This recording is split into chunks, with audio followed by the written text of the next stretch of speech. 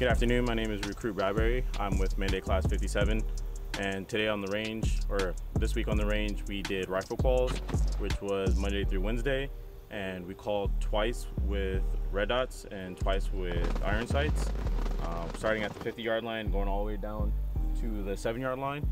And then today we are qualifying with our less lethal shotguns, which is a beanbag round.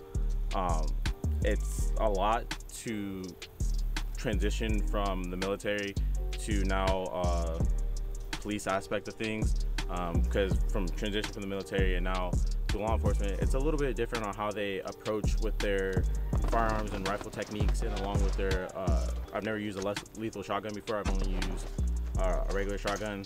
And um, it's it's just cool learning experience uh, there's not a lot of people out there that's ever shot a rifle or a shotgun like today some of my classmates have never shot a rifle before in their life. Some of them never shot a, a shotgun let alone a lethal shotgun in their life today.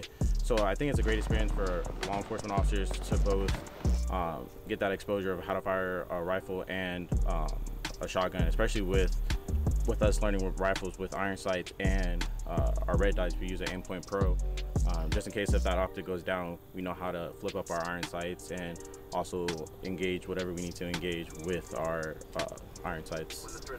Um, and then also along with qualifying with our rifles and shotguns we've also been doing drills. So not only do we stay with our our m4s and um, engaging our targets, but it also teaches us how to transition from our M4s down to our pistols. If we're not at that distance or if we're too close to our target or if we don't have our cover, then we transition to our sidearms and then we engage our targets from there. Um, and also it's a good experience because you never know what happens on the road. And um, it's nice to have that experience and that exposure and get those reps in because without those reps, then shooting a rifle is a development skill. You're always learning, you're always progressing new things and you're never gonna stop because once you stop doing those repetitions, you're gonna lose those skills and those uh, muscle memories on how to engage your target.